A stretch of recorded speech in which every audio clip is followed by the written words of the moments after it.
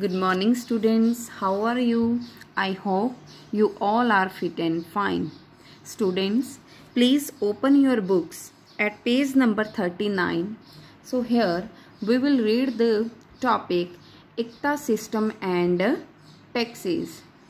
Like the earlier sultans, the Khalji Tughlaq monarchs appointed military commanders as governor of territories of varying sizes.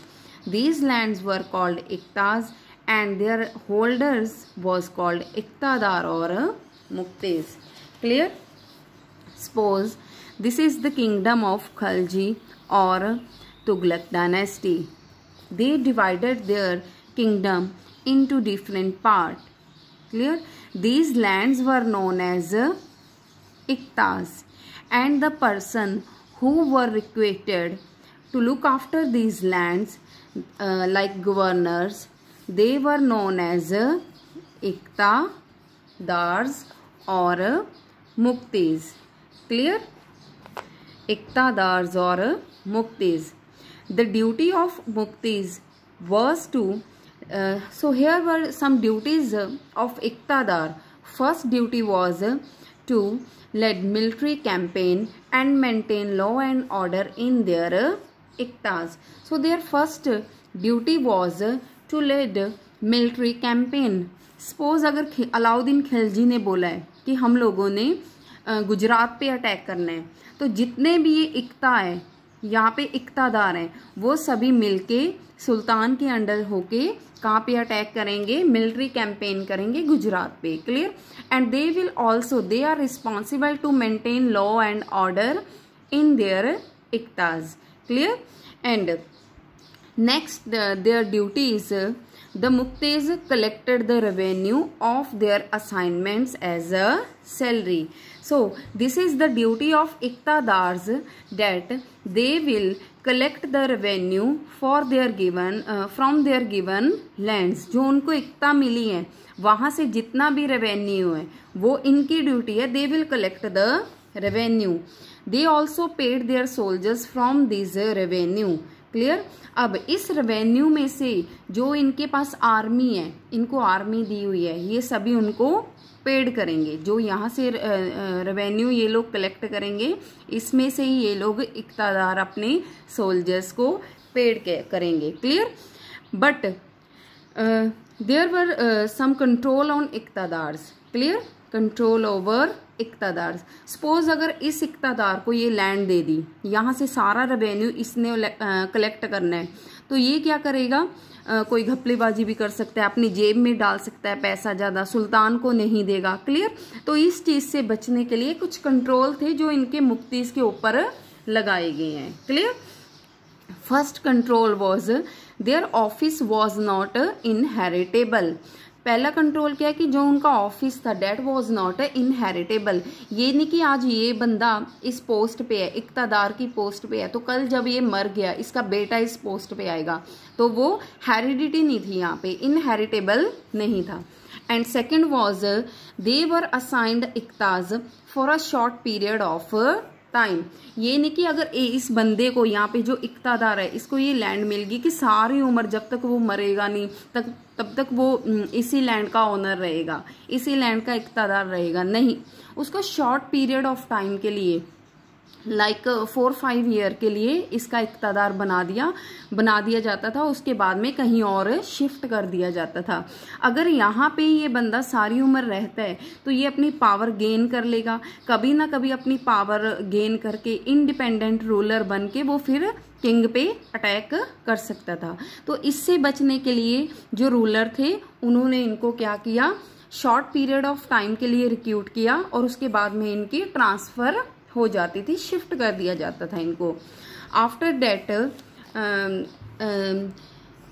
accountant were appointed by the state to check the amount of revenue collected by the muqtis एक और post यहाँ पे create की गई by the sultan their accountant accountant का काम क्या था कि जितना भी ये लोग रेवेन्यू यहाँ से कलेक्ट कर रहे हैं क्लियर उसकी डिटेल ये उस अकाउंटेंट बनाएँगे कि मुक्ति जो है, ज़्यादा रेवेन्यू तो नहीं कलेक्ट कर रहा जो स्टेट ने प्रिस्क्राइब किया है। जैसे 50 परसेंट बोला है स्टेट ने कि 50 परसेंट आप इस लैंड से रेवेन्यू कलेक्ट कर सकते हैं।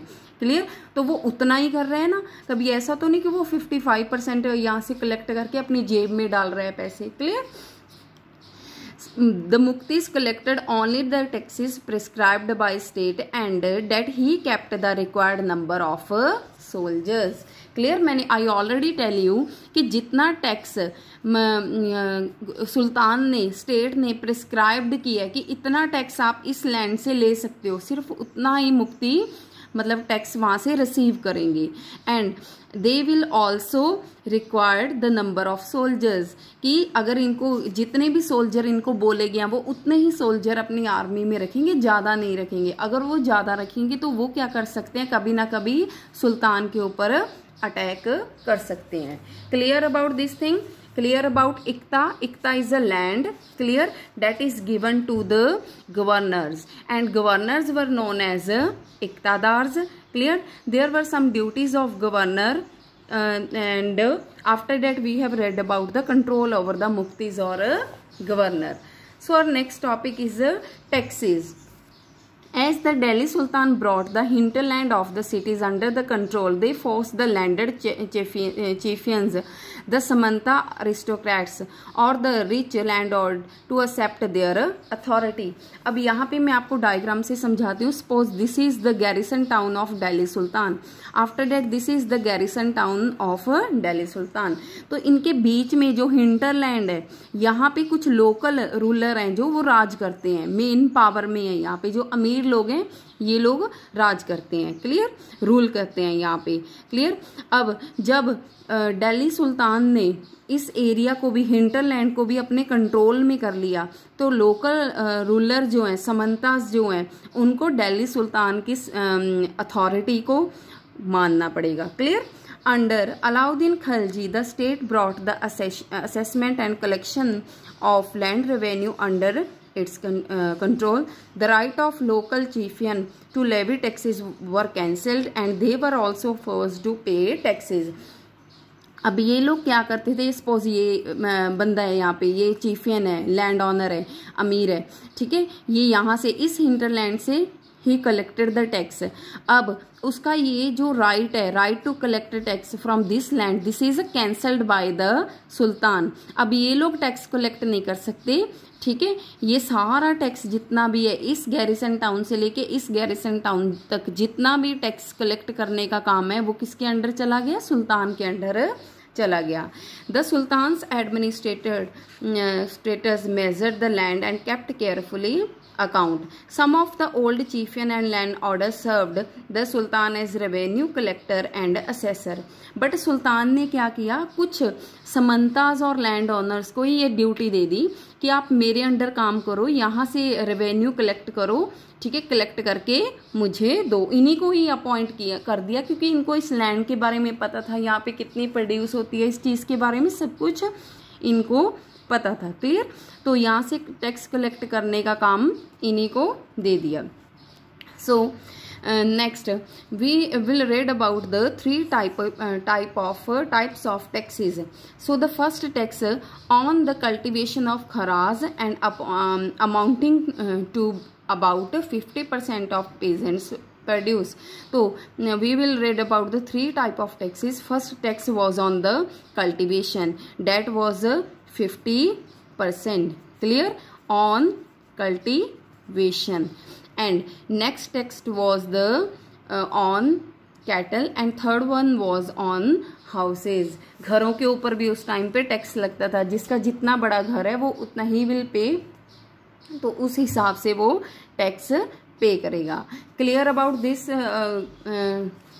form type of taxes clear so here we have read about the three type of taxes first tax on the cultivation that was fifty percent next on the cattles and next one is on the houses. And here we also had read about the uh, local chieftains that uh, now they don't have right to collect uh, the taxes. So the they will accept the authority of a king of the delhi sultans. Clear? So next come to the topic so come to the page number 40 so here we will uh, read about the mongols at uh, different attacks of the mongols and what were the strategies that were adopted by alauddin khilji and muhammad tughlaq to face clear to tackle this uh, problem the Mongols under Genghis Khan अब इस बंदे के अलग अलग name पर pronouns होते हैं। Genghis Khan भी बोल देते हैं गेंगिस खान भी बोल देते हैं। Invaded Transoxiana in north east Iran in twelve nineteen and Delhi sultanate faced their onslaught soon after Mongol attacks on the Delhi sultanate increase during the reign of Alauddin Khalji and the in the earlier year of Muhammad bin Tughlaq तो इन दोनों के time पे, अलाउद्दीन खलजी और मोहम्मद बिन तुगलक के time पे भी मंगोलों ने बार बार अटैक किए हैं।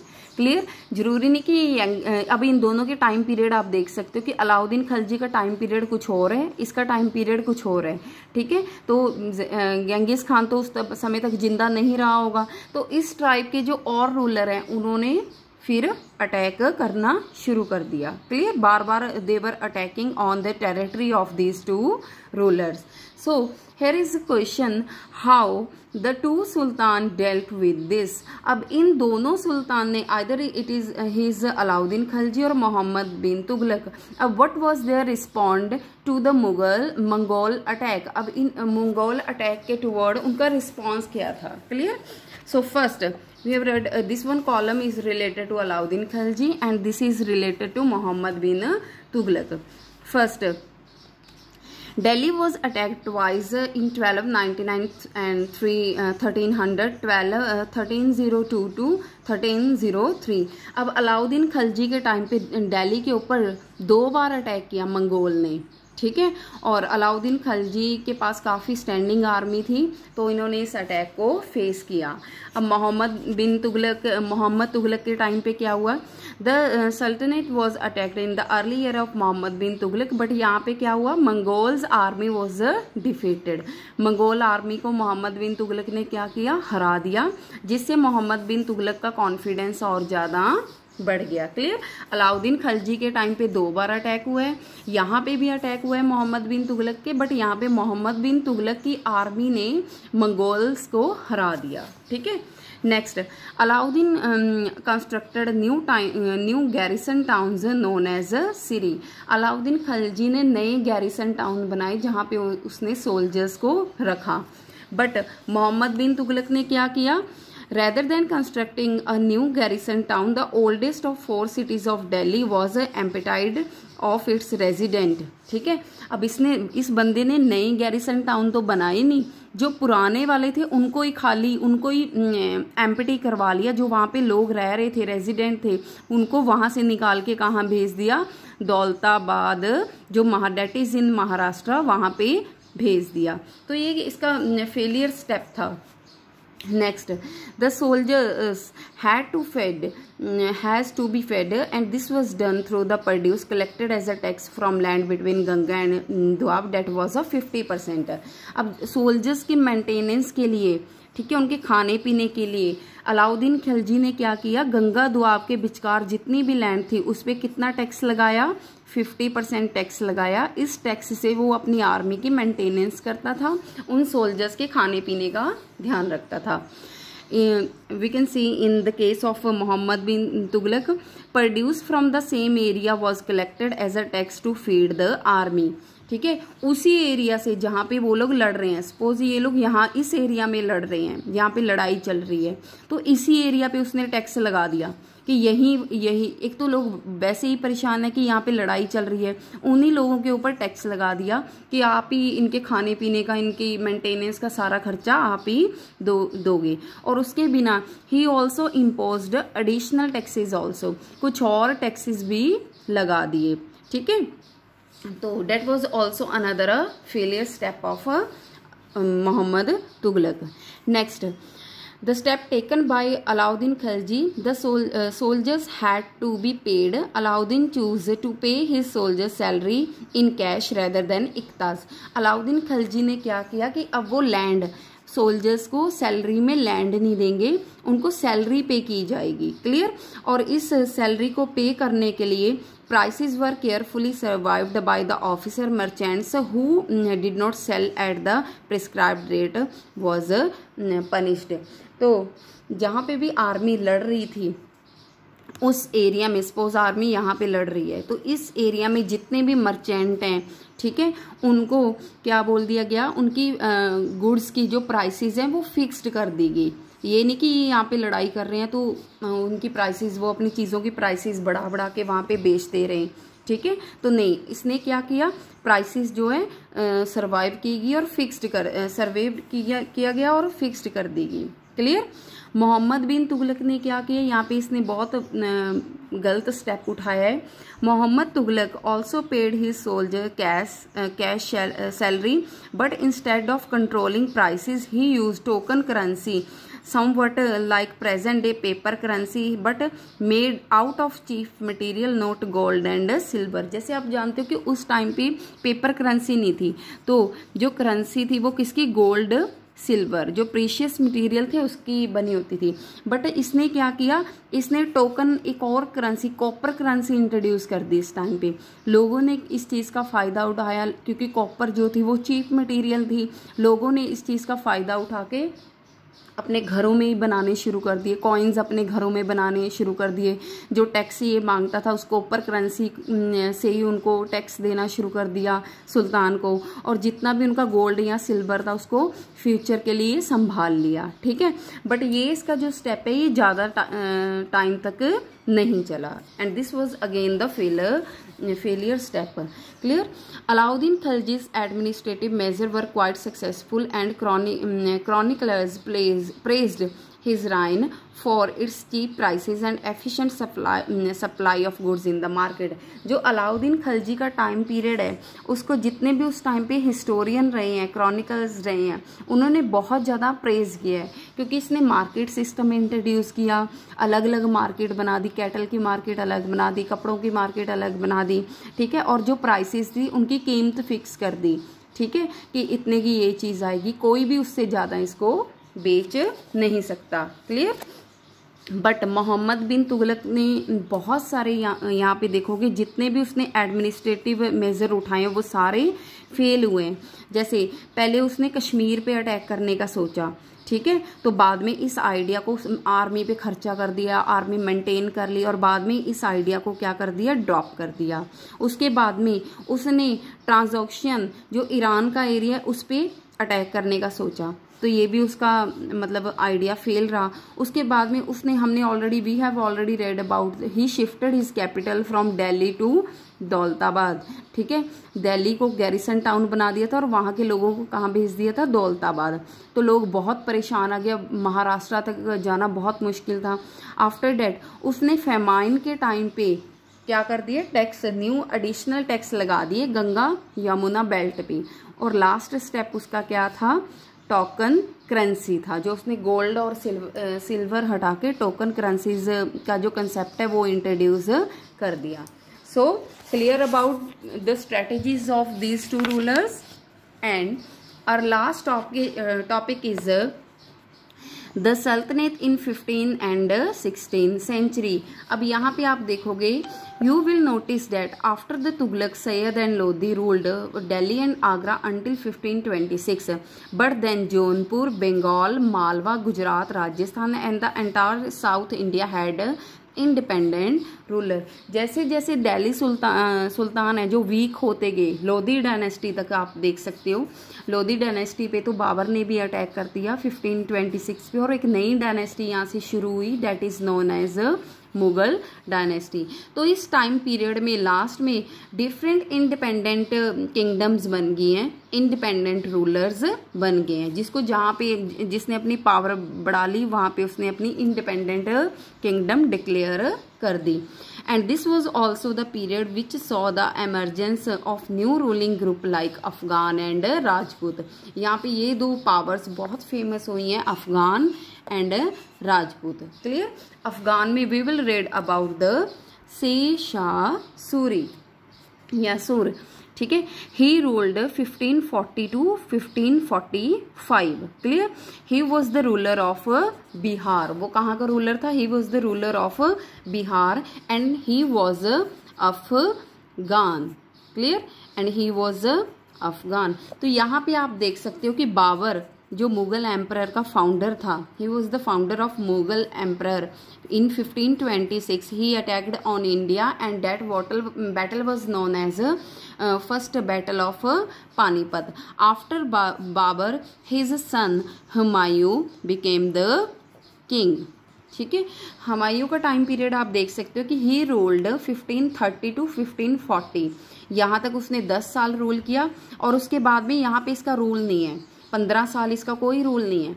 After that he again ruled on India 1555 to 1556 तो इस 15 ईयर में किसने रूल किया है?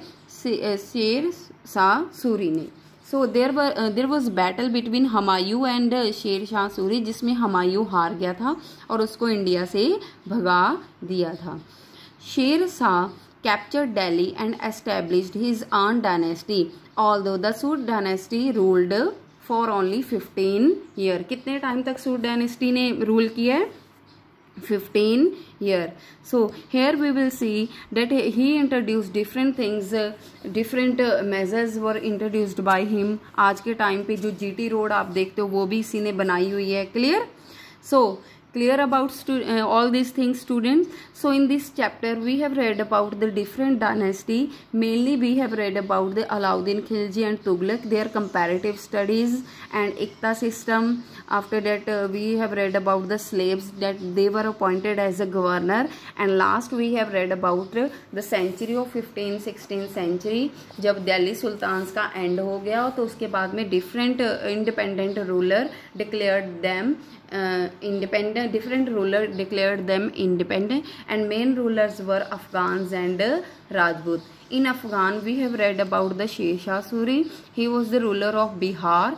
He was afghan and there was a battle between uh, shesha suri and hamayu son of akbar and uh, son of babar and uh, in which hamayu was defeated by shesha suri and they ruled uh, 15 years thank you. I hope you understand you all understand this chapter very well. If you have any doubt then you are free to call me anytime. Clear? Thank you. Have a nice day